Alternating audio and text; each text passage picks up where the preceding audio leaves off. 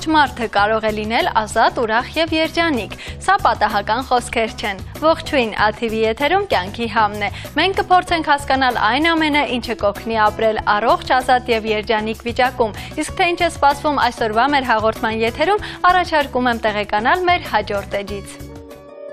Բժշկական ամենօրյա էջ, հարցերի պատասխաններ ու բաղադրատոմսեր, ձվի սպիտակուց, հասկանում ենք, թե ինչով է այն օգտակար եւ ինչպես կարելի է տնային պայմաններում բուժիչ միջոցներ պատրաստել։ Մոգական դիետա, որ կօգնի գեղեցկանալ ու ազատվել ավելորդ քաշից, մարմնամարզական ամենօրյա էջ, զարգացնում ենք մկաններն ու լիցքաթափվում, ինչն է վնասակար երեխաների համար ու խանգարում է նրանց քնել, ինչ են բացահայտել գիտնականները, այս եւ այլ հետաքրքիր մանրամասներ դիտեք մեր եթերում։ Կյանքի համ շնիկ ATV.am, ահա մեր էլեկտրոնային փոստի հասցեն։ Եթե ունեք հուզող հարցեր, ցանկանում եք, որպեսզի մեր բժիշկները պատասխանեն ձեր հարցերին, ապա եղեք ավելի ակտիվ։ Դիտենք, թե ինչ է հուզում այսօրվա հերոստատիտողին։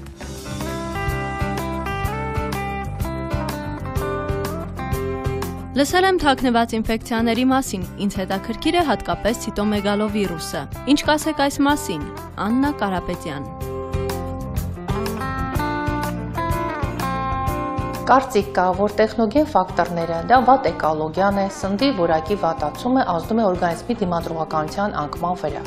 Օրգանիզմի դիմադրողականության անկումը բերում է օրգանիզմում այնպիսի ինֆեկցիաների առաջացմանը, որոնք կոչվում են թաքնված ինֆեկցիաներ։ Թաքնված ինֆեկցիաները կարող են շատ երկար ժամանակ գտնվել օրգանիզմում, որից մասին պացիենտը կամ հիվանդը կարող է չիմանալ։ Թաքնված ինֆեկցիաների շարքին են պատկանում ցիտոմեգալովիրուսը, հերպեսը, ուրիոպլազման, խլամիդիոզը, որը բերում է վերարտադրողական ֆունկցիայի խանգարմանը կամ կարող է հանդիսանալ ինքնաբերաբար կամ ինքնակամ վիժումների։ Ինչպես է ընթանում ցիտոմեգալովիրուսը, օրգանիզմում այն ընթանում է եւ թաքնված ձևով եւ սուր վիճակներով, սուր վիճակները կարող է արտահայտվել օրինակ մոնոցիտար անգինայի կամ մոնոնուկլեոզի ձևով։ Վարակը օրգանիզմ է անցնում սեռական ճանապարհով, օթակաթիլային ճանապարհով, ինչպես նաև պլացենտայի միջոցով մորից կարող է անցնել պտղի։ Ախտորոշումը կատարվում է PCR մեթոդով եւ IFI մեթոդով հակամարմինների որոշմամբ արյան մեջ։ Ինչպիսի կլինիկական նշաններ կարող է տալ ցիտոմեգալովիրուսը կարող է տալ սուր վիճակներում մարմնի ջերմաշյանի բարձրացում, ասենովեգետատիկ վիճակներ, թուլություն, մկանացավեր, հոդացավեր, կարող է բերել ընդհանուր դիսպեպտիկ երևույթներին։ Ցիտոմեգալովիրուսի ժամանակ կարող են առաջանալ ցավ աճուկային շրջանում, միզելուց ցավի արկայություն, ինչպես նաև արյան արկայություն մեզի մեջ։ Տղամարդկանց մոտ այն կարող է հանդիսանալ խրոնիկ պրոստատիտի, էպիդիդիմիտի պատճառ։ Քանի որ հիմնական պատճառը թաքնված ինֆեկցիայի համարում է իմունոդեֆիցիտային վիճակները, այսինքն օրգանիզմի իմունիտետի դիմադրողականության անկումը, ուստի բուժումը կատարվում է ելնելով այդ սկզբունքներից կատարվում է իմունոմոդուլյացիա, այսինքն իմունիտետը բարձրացնող պրեպարատներ են նշանակվում, նշանակվում են հակավիրուսային պրեպարատներ, անհրաժեշտության դեպքում անտիբիոտիկներ, գեպատոպրոտեկտորներ, ֆերմենտներ, ֆիզիոպրոցեդուրաներ։ Իմունիտետի բարձրացման համար կան շատ մեթոդներ, բնական մեթոդներ, որոնցից մեկը հանդիսանում է ակտիվ ֆիզիկական վարժությունները, մաքուր օդում զբոսանքը, սպորտով զբաղվելը, մոժությունը մի խոսքով պետք է վարել առողջ ապրելակերպ։ Բնության մեջ գոյություն ունեն բույսեր, որոնք նույնպես բարձրացնում են իմունիտետը օրգանիզմի։ Դրանց թվին է պատկանում մասուրը։ Մասուրը հայտնի է նրանով, որ իր մեջ պարունակում է մեծ քանակության վիտամին C, որը կարող եք թեյի ձևով օգտագործել, ինչպես նորակ կալենդուլան, կալինան, նույնպես օժտված են իմունիտետը բարձրացնող հատկությամբ։ Այժմ ձեզ առաջադրեմ մի բաղադրատոմս ժողովրդական բժշկության կողմից առաջադրված, որը ընդհանուր դեղորայքային բուժման հետ կիրառելիս բարձրացնում է նաև ձեր իմունիտետը։ Օգտակար է իմունիտետի բարձրացման համար բազուկի հյութը։ Թարմ բազուկի հյութը կես բաժակ խառնում ենք երկու թեյի գտալ մեղր եւ օգտագործում ենք կես սուրճի բաժակից օրը երկու անգամ։ Սակայն այս բաղադրատոմսը հակացուցված է այն մարդկանց, ովքեր տարապում են շաքարախտով։ Առաջադրեմ հաջորդ բաղադրատոմսը։ Վերցնում ենք 1 բաժակ ծովաբողկի հյութ, 1 բաժակ գազարի հյութ, 1 բաժակ բազուկի հյութ, վրան ավելացնում ենք 30 մլ օղի եւ քամում ենք 2 լիմոնի հյութ։ Պատրաստի խառնուրդը պահում ենք սառնանում եւ օգտագործում ենք 1 ճաշի գտալից օրը 3 անգամ ուտելուց առաջ։ Բուժման տևողությունը 30 օր է, 2 ամսից պետք է կրկնենք այս բաղադրատոմսը։ բարձրացնում է իմունիտետը։ Կուզենայի նշել, որ մեր կենտրոնում գործում են բազմաթիվ անվճար հետազոտություններ, ինչպես նաև ակցիաներ։ Անվճար է համարվում այս պահին լյարդի եւ վահանաձև գեղձի սոնոգրաֆիկ հետազոտությունները, ինչպես նաև ճիճվագրության ստուգում երեխաների մոտ համակարգչային մեթոդով 4-ից 14 տարեկանին։ Լաբորատոր հետազոտությունները բոլորը կատարվում են շատ մատչելի արժեքներով, ստուգումները կատարում են եւ կլինիկական, բիոքիմիական, կապված հորմոնալ անալիզների հետ, թաքնված ինֆեկցիաների հետ, բոլորը կատարում են մեր կենտրոնում։ Բոլորը կարող են հերթագրվել եւ գալ հետազոտվել։ Այսօրվա մեր առողջարար մթերքների ամենօրյա էջում անդրադարձել ենք ձվի սպիտակուցին։ Տեսնենք, թե որ դեպքերում է այն օգտակար, ինչ բուժիչ միջոցներ կարելի է պատրաստել ձվի սպիտակուցի օգնությամբ։ Պարզում ենք այս մթերքը։ Դարվինն ասում էր, որ 3.8 միլիարդ տարի առաջ հենց սպիտակուցային նյութերից են առաջացել առաջին բջիջները։ Ձվի սպիտակուցից մարդիկ սկսեցին օգտվել դեռ դարեր առաջ որպես սննդամթերք ու բուժիչ միջոց։ Սպիտակուցները մեծ դեր են կատարում մեր օրգանիզմի համար, դրանք կարգավորում են մեր մկանները, ոսկրերը, մազերը, եղունգները, առանց որի կյանքն անհնար կլիներ։ Իսկ այժմ պարզենք, թե ինչ դեր են կատարում սպիտակուսները մեր օրգանիզմում եւ որքանով են դրանք օգտակար մեզ համար։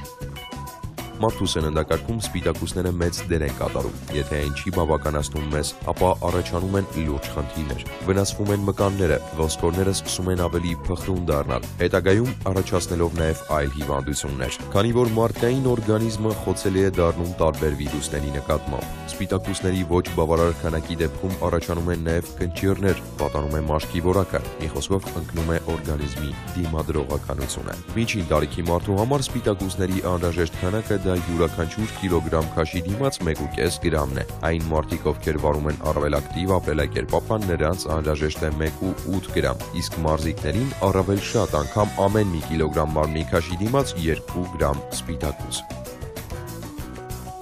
Մենք իհարկե հասկացանք, թե ինչ վնասներ կարող են առաջանալ, եթե մեր օրգանիզմում սպիտակուցների քանակը բավարար չէ, իսկ թե որքանով են դրանք կալորիականությամբ հագեցած, եկեք պարզենք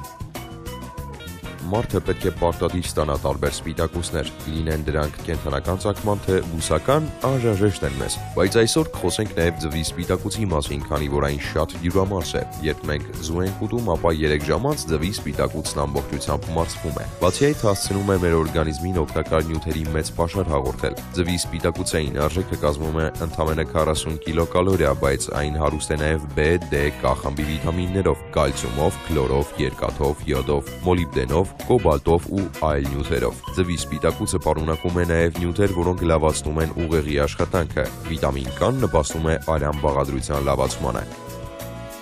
Հիշեք, որ ձվի սպիտակուցը կիրառվում է նաև կոսմետոլոգիայում։ Կարող եք պարզապես ձվի սպիտակուցին ավելացնել կիտրոնի հյութ, ցիթայյուղ եւ ստանալ հիանալի դեմքը ձգող դիմակ։ Ինչպես հասկացանք, ձվի սպիտակուցը բոլոր սպիտակուցներից ամենադյուրամարսն է։ Այն հակախոլեստերինային լավագույն մթերքն է համարվում, լավացնում սիրտանոթային համակարգը։ Այս մթերքը կիրառվում է թե ավանդական եւ թե ժողովրդական բժշկության մեջ, որից պատրաստվում են տարբեր բուժիչ միջոցներ։ Օրինակ, անգինայի ու մրսածության ժամանակ օգտակար է թարմ հավքիթի սպիտակուց խմել։ Ստամոքսի ու աղիների խանգարման թունավորումների ժամանակ մեկ ձվի սպիտակուցը հարում եք երացրած ու գոլացրած ջրի մեջ, կեսթեի գտալ շաքարավազ ավելացնում ու փոքր կումերով ըմպում։ Փոլուցության ժամանակ մեկ հատ հավքիթի սպիտակուցին 4 կաթի յոդ ավելացրեք, խառնեք ու կրկին փոքր կումերով խմեք։ Մաշկային խնդիրների, բծերի, այրվածքների ժամանակ սպիտակուցը եւս կիրառվում է։ Պետք է մաշկի թրջոցների տեսքով սպիտակուցը դնել վրայից կարմիր կտորով ծածկել ու այսպես ողջ գիշեր չհանել թրջոցը։ Այժմ բաղադրատոմս այն մարդկանց համար, ովքեր անոթային խնդիրներ ունեն կամ մազանոթային ցանց։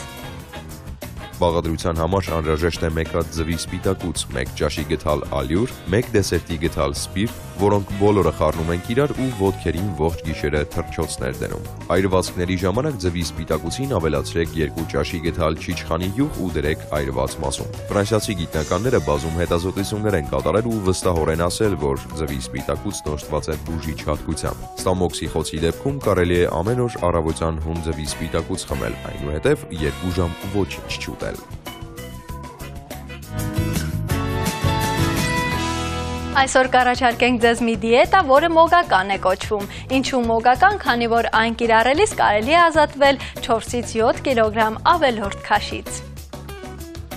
Առանց որևէ կախարդական խոսքերի այսուհետ կարելի է ազատվել ձեզ տհաճություն պատճառող ու անհանգստացնող ավելորդ քաշից։ Իհարկե կատարելով այս դիետան, այն իրականացնելու համար գրեթե ամեն օր հարկավոր է հավքիթ ուտել, քանի որ այն եւ օգտակար է եւ դիետիկ։ Հավքիթը պարունակում է բոլոր այն սպիտակուցները, որոնք անհրաժեշտ են մեր օրգանիզմին։ Կալորիականությամբ այս մթերքը եւս աչքի չի ընկնում, բայց ահա երկար ժամանակ չի կարելի իրականացնել այս դիետան, քանի որ կալորիաները շատ քիչ են, այնպես որ կատարեք այն ընդամենը 1 շաբաթ Սննդակարգը հետևյալն է։ Առաջին օրը նախաճաշին պետք է միայն սուրճ ըմպել, այն էլ առանց շաքարավազի։ Ճաշին սնվեք լավ եփած երկու հատ հավքիթով, 20 գրամ պանրով, ընթրիքին սնվեք լոլիկով, կաղամբով, վարունգով ու տակդեղով։ Հաջորդ օրը կրկին նախաճաշին սուրճ կամ թեյ ըմպեք։ Ճաշին օգտվեք 1 հատ լավ եփած հավքիթից ու մեկական խնձորից։ Ընթրիքին սնվեք 1 հատ եփած հավքիթով։ Երրորդ օրը սկսեք 1 բաժակ թեյով։ Ճաշին օգտվեք 150 գրամ անյուղ կատնաշորից ու թեթև բանջարեղենային աղցանից մնացած 4 օրերին օգտվեք գրեթե նույն սննդակարգից ու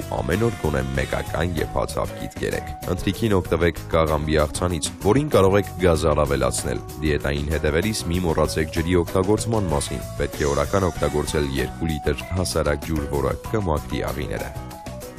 Պետք չէ կախարդական փայտիկն իհարելու համար, բավական է միայն մեկ շաբաթ իրականացնել մոգական դիետան եւ հասնել դրական արդյունքի։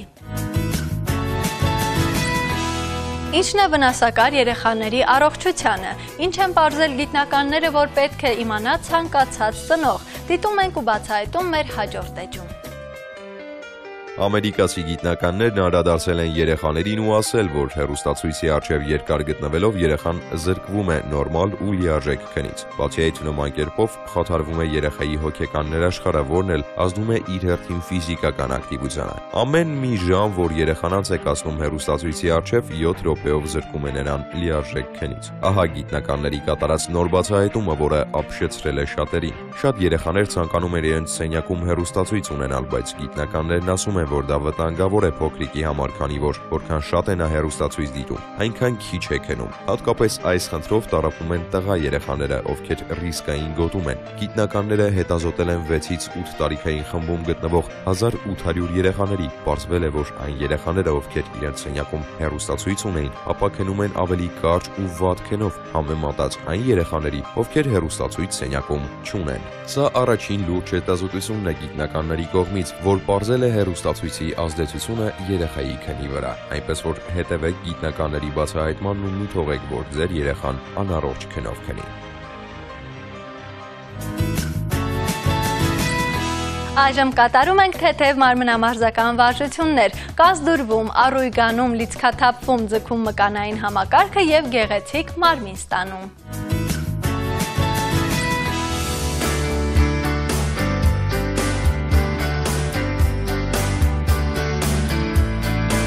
Պարկում ենք հարթ մակերևույթին փորի վրա ու ձգում մարմինը։ Ձեռքերը ու ոտքերը հավասարաչափ ձգում ենք։ Վարժությունը նպաստում է գրեթե ողջ մկանային համակարգի ակտիվացմանը։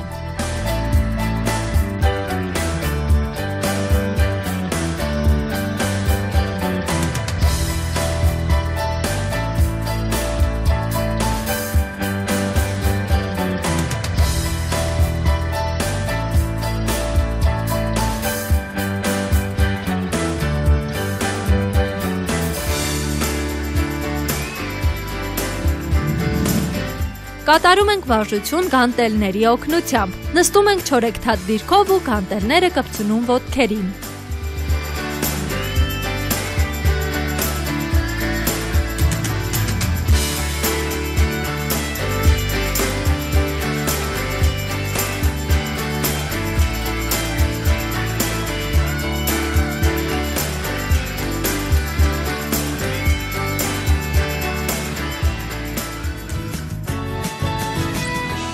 Հաղորդմանը սպասարկում է Էմ Զաքարյան գեղեցկության սրահը, ոճաբան Վարսահարդար Ռադիկ Զաքարյանը։ Ավարտին մոտեցավ եւս մեկ հաղորդում, սակայն մենք խոստանում ենք ձեզ հետաքրքիր տեղեկություններ ու մանրամասներ, որոնք կօգնեն առողջ ապրել։ Կհանդիպենք շատ շուտով։